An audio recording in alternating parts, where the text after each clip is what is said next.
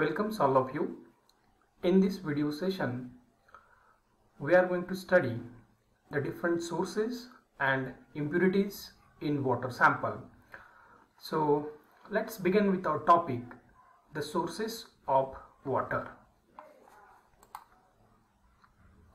See, water. Water is one of the important commodity onto the earth crust.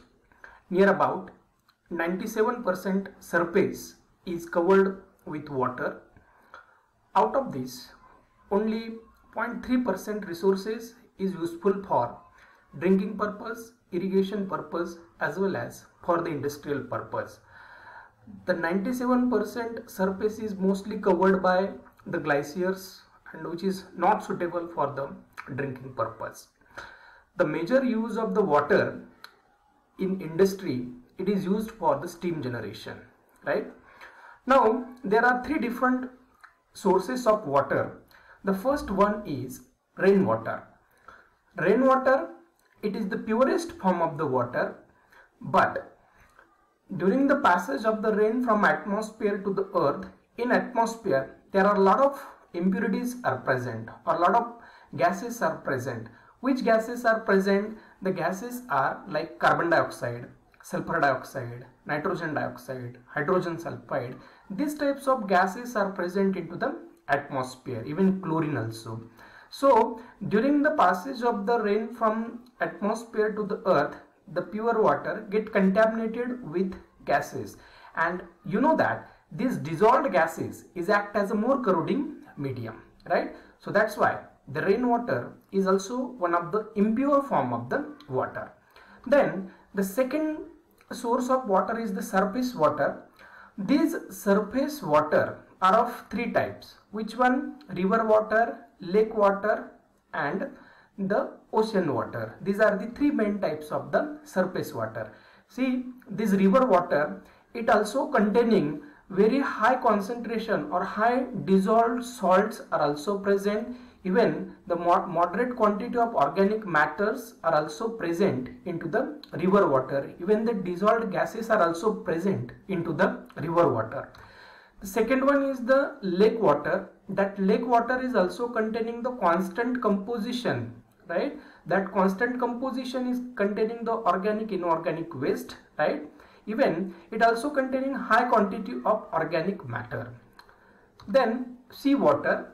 Seawater is as you know the seawater is containing high concentration of what? The salts is present right? So due to this it containing very high salinity.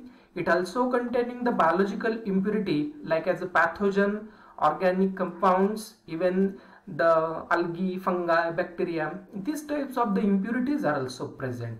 That's why this surface water is also one of the impure form of the water. Then third one is underground water.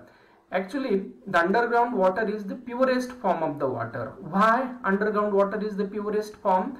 Because when rainwater gets percolated into the soil whatever the salts whatever the gases are present so during the percolation of water into the soil that gases as well as the salt is expelled out that's why the rainwater sorry underground water is one of the purest form of the water. This underground water containing the spring as well as the well water mostly the crystal clear but it also containing high dissolved salt and high purity of organic matter. That's why the underground water is the one of the purest form of the water. See sources of water three main kind of sources. Rainwater surface water underground water out of these rainwater and surface water these both are the impure form of the water only underground water is the purest form of the water right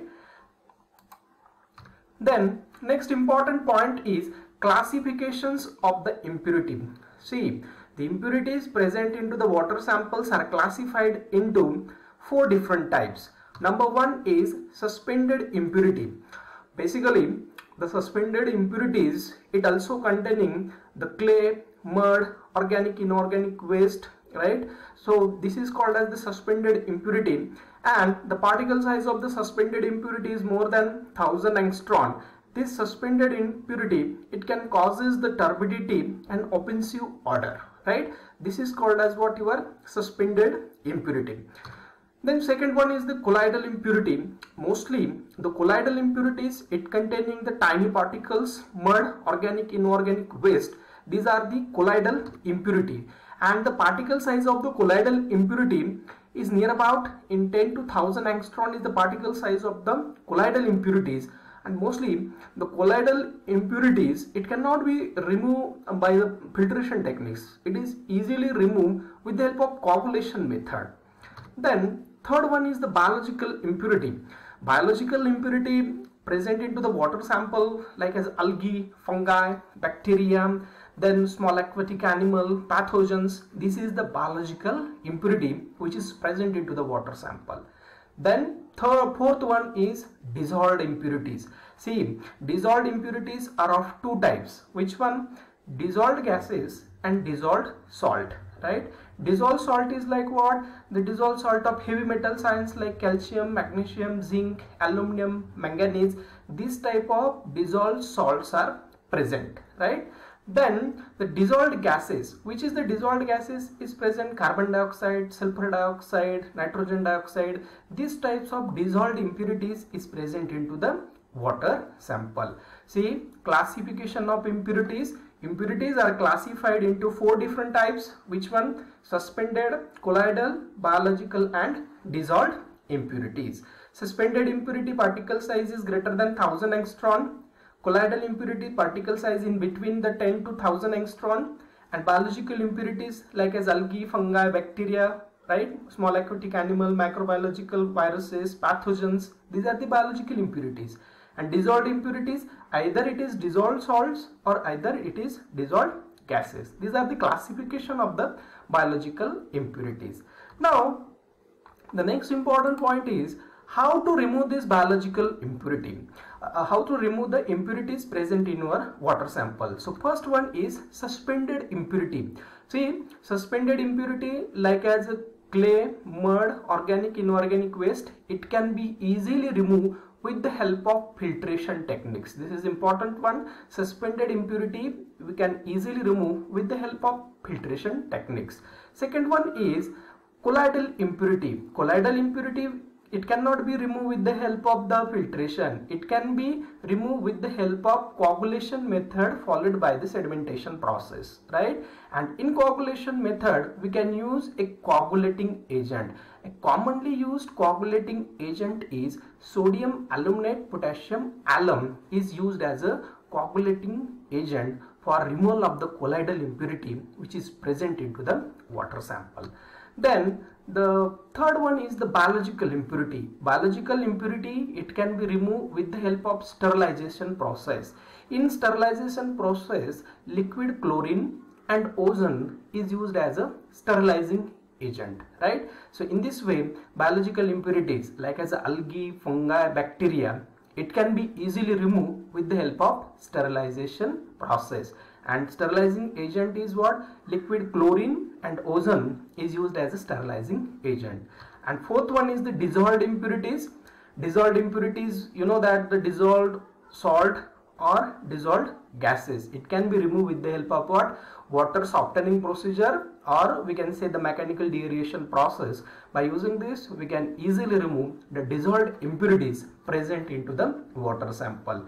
See how we can remove the suspended impurity? By using filtration techniques colloidal impurity by the coagulation method biological impurity it can be removed with the help of sterilization process. Dissolved impurity it can be removed with the help of water softening process right? So this is the way to remove the impurity then next important point is the major impurities in water sample see water samples containing ionic and dissolved type of impurities either it is cationic or anionic. In cationic type, calcium, magnesium, sodium, potassium, iron, manganese, this type of impurity is present. In anionic type, bicarbonate, carbonate, hydroxide, you know that? Due to presence of bicarbonate, carbonate and hydroxide, water becomes what? Alkaline in nature, right? So alkalinity, it is due to presence of what? Hydroxide, carbonate and bicarbonate then that water called as what? Alkaline water sample.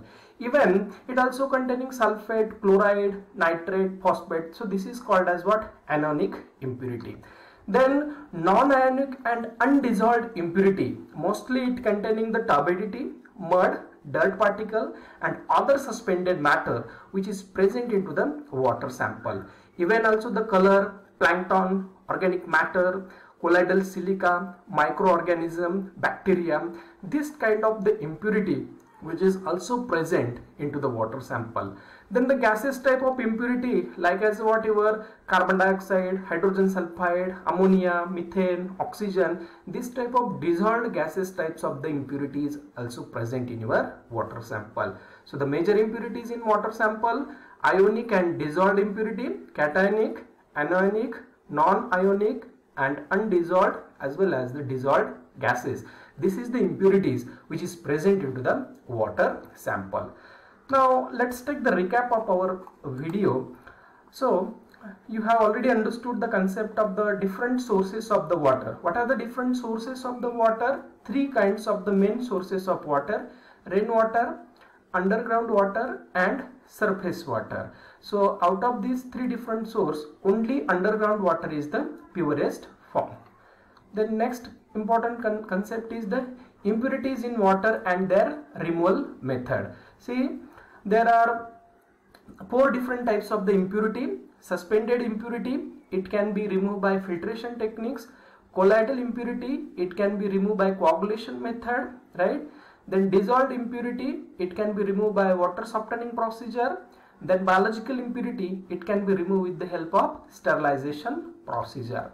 And the different major impurity which is present in your water sample is what? Ionic, non-ionic, then dissolved gases, these types of impurity, major impurity which is present in your water sample.